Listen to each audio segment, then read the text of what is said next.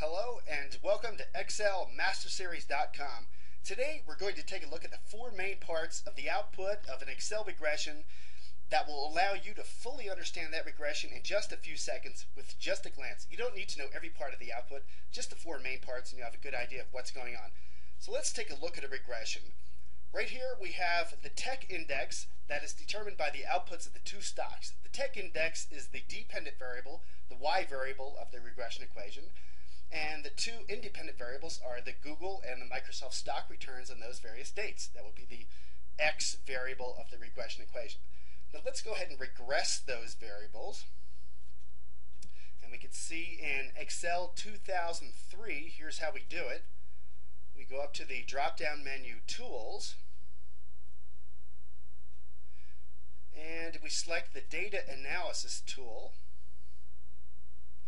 then select Regression of those choices. Hit OK.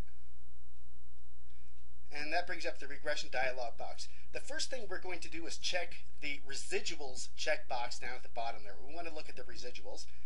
And then we're going to look at the input y range. That would be the dependent variable. And we're going to select the tech index. Select all of the data along with the label, the tech index label. That's the dependent variable, the y variable. Now we're putting in the x variable range. That would be the Google and the Microsoft stocks, along with the labels. And since we have the labels, we're going to check that box, and we're going to leave the 95% confidence interval box checked. That's standard. And the output range, we're going to select the cell that will be the upper left-hand corner of the output of this regression. That will be cell 813. Hit OK and run the regression. We see that regression output starts in cell 813. And now, here's the output. And the first thing we're going to look at is the overall regression accuracy. And that can be determined by R square and adjusted R square. Now, R square represents the percent of variance of the output variable, the tech index, that's explained by the variance of the input variables, the Microsoft and Google returns. And we see in this case, the R square is 0.907. That means 90% of the variance of the output variable is explained by the variance of the input variable. Adjusted R squared is typically quoted more than R squared because it's usually more conservative.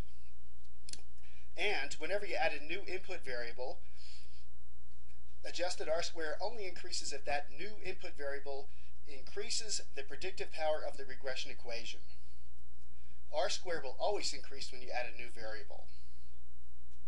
And the second thing that we're going to look at is the probability that the regression output, the output of the regression, is not by chance. And that would be shown by the significance of f of the regression. The smaller the significance of f, the greater the probability that the regression output is not by chance. In this case, significance of f for the regression is 0.028. That means there's only about a 2.8% chance that our output was obtained merely by random chance. And the third part of this regression output that we're going to take a look at is the reliability of the regression line's coefficients and the y-intercept. That would be determined by the p-values of each. And we can see at the bottom of the chart the p-values are in purple and the intercept and the coefficients of the two variables are in yellow. And the smaller the p-values, the greater the probability that those outputs were not obtained by chance. For example, the p-value of Google is only 0.018. That means that there's only a 1.8% chance that that coefficient is obtained by chance. And we can take those, the intercept and the coefficients, and create the regression equation right there as we've done. Now we're going to take a look at the residuals.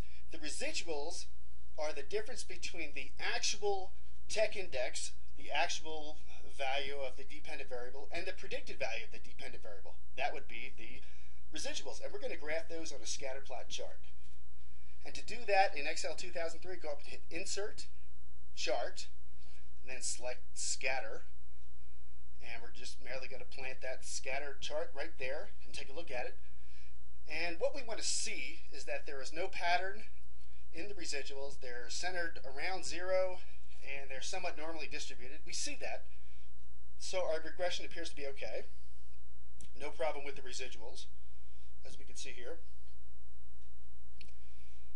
And the four most important, of, most important parts of the output of a regression done in Excel are number one, the overall regression accuracy that would be determined by R square and adjusted R square. Number two, the probability that the regression output is not random. You can look at the significance of f of the regression. And number three, the reliability of the regression's y-intercept and coefficients. That can be shown by the p-values of each. And by the residuals, showing no patterns. So if you'd like to be a an Excel statistical master, take a look at the Excel Master Series. It's a four manual series. You can pick it up at uh, www.excelmasterseries.com. There it is, only $19.95 for all four books. Thank you very much and goodbye.